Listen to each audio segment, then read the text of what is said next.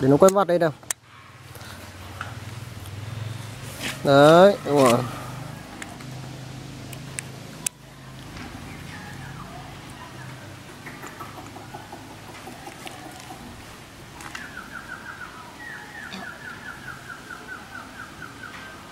Con này tay mới dựng ấy, tuyệt vời.